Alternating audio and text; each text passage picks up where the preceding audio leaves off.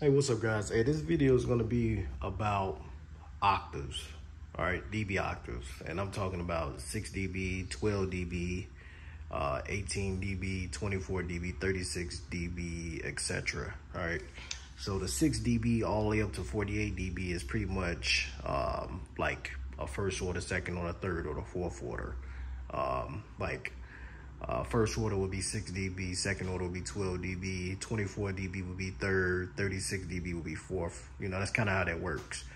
All right, but y'all want to know the purpose of a 24 dB, uh, 12 dB, or 6 dB, even 18 dB, even 36 dB.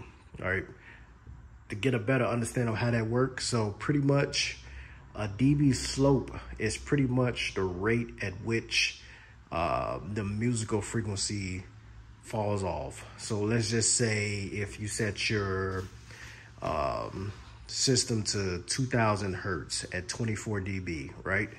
So if you go to the next octave from 2000 hertz, which is 4000 hertz, all right? From 2000 hertz to 24, well, not 24, but 2000 hertz to 4000 hertz, all right? That sound is gonna drop off 24 dB. So it's gonna get, it's gonna be negative 24 dB quieter at 4,000 hertz compared to 2,000 hertz. So in between 2,000 hertz and 4,000 hertz, all right, it's gonna drop off negative 24 dB. So that's how much more quieter it's gonna be. And from 4,000 hertz to 8,000 hertz is gonna be about 48 dB quieter. But at that rate, dropping off at uh, 24 dB. So as it drops off at each octave, all right, that dB or that octave is going to add up.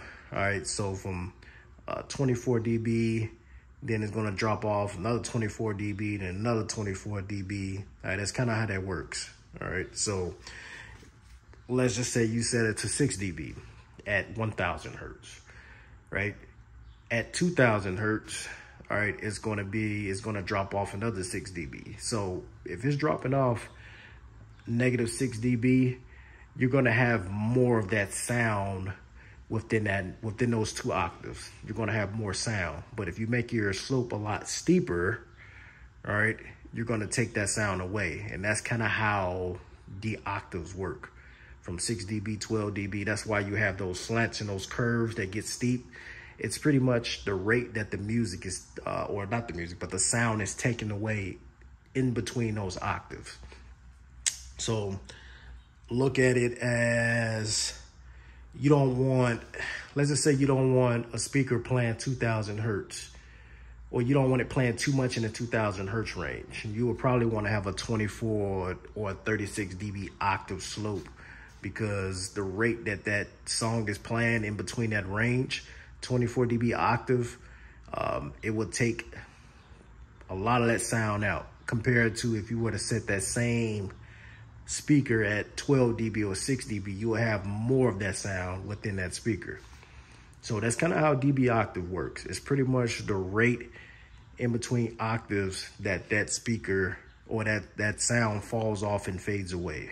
So 6 dB set at 1000 hertz, um, going to 2000 hertz, it will drop 6 dB, it will drop another 6 dB, then another 6 dB, and it drops 6 dB three times. That's 18 dB right there of sound taken away within that octave. So I hope that kind of helps you guys out to make y'all get a better understanding of how that works. But whenever y'all set your octave, just know um, you're taking negative 24 dB or negative 18 dB of sound away to compensate um, not having all that sound within that music spectrum. So you can pass off to the next instrument or the next speaker. So let's just say I got these crossed at, I say, uh, 100 hertz all the way up to 2000 hertz. All right, so on my low pass filter, this is gonna play 2000 hertz and below.